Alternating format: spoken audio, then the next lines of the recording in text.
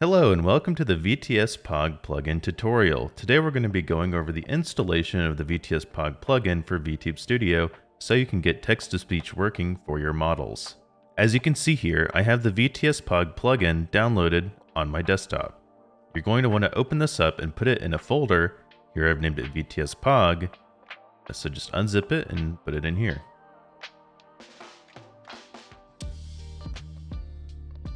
Now that I have the plugin unzipped, I'm going to go ahead and open it and you can take a look inside.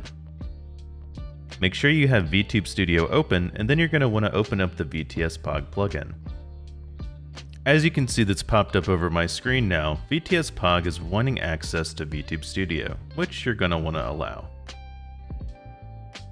Let's go ahead and explore the plugin. If you hit play text, you will hear your model speaking, however you won't see it because it's not set up in VTube Studio quite yet.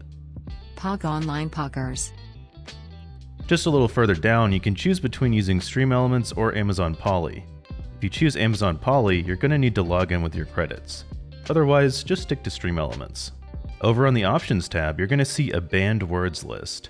Here, let's test the band's word list by using the word hello, and the filter severity will be on strict. Now if we go ahead and test the restricted word, it won't go through. Boop boop boop. Now let's head back over to the options. Here you will see the channel points character limit, the bits character limit, the minimum bits limit, the sub character limit, and the max audio length in seconds. For the point redeem name, we'll go over on how to set that up on another video. For the command, you can set up a command that can be used by either your chat or mods, and also add a cooldown. As you can see, you can set up a hotkey to go to the next in the queue or disable TTS. There's also a button up here to disable TTS as well. If you go into Calibrate, you'll see some options for the model parameters to adjust the frequency gain and volume gain. There's also some information down here if you have some trouble with the program. If we click on History and click Load Latest Redeems, you'll see all the different redeems that we've loaded in the past. When your chat starts to redeem things, it will pop up here. If for some reason a redeem didn't go through or you want to hear it again, you can come to the history, find it, and hit add to queue and it'll play it again. Pog Online Poggers. If you come up here and click on the settings button, you'll see the option to change your output device.